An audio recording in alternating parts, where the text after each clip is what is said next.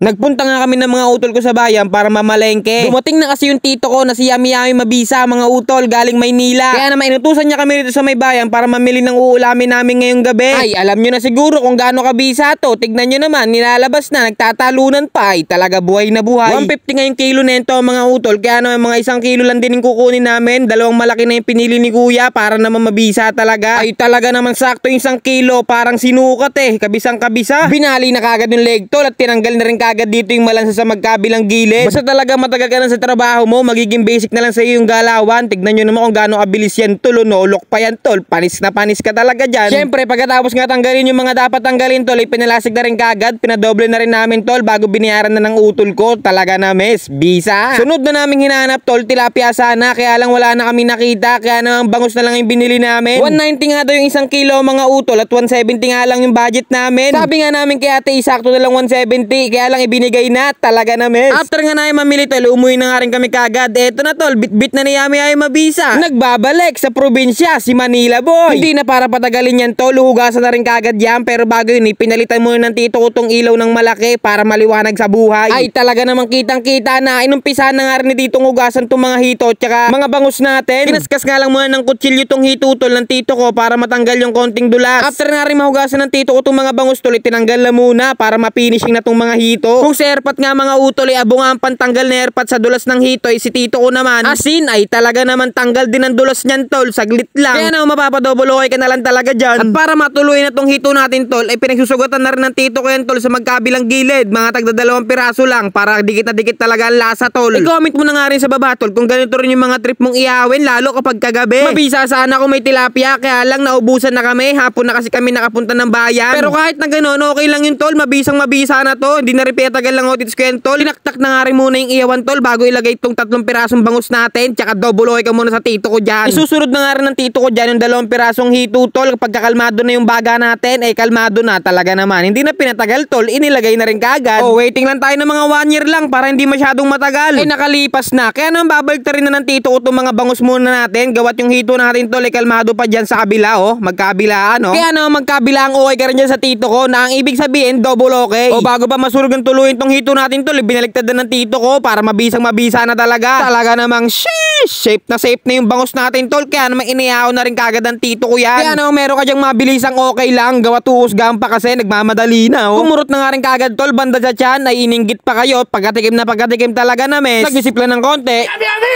Mabisa! Sa sobrang bisa niyan tol ay hindi lang tayo ang titikim niyan tol. Bibigyan din natin yung tita natin. Kaya naman binalot na rito ng tito ko sa plastic at talagang mapapakanta ka na lang talaga. Palutin mo.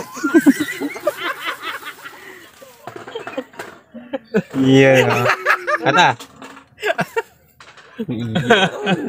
Ay talaga na mes. Ganyan dito sa may probinsya tol, bigayan. At dahil safe na nga rin tong dalawang hito natin dito tol, ay agad-agaran na nga rin pinagahon ng tito ko to. Ay talaga na mes, kakahon pa lang tol, mapapasabi ka na lang talaga ng... Yami, yami! Mabisa!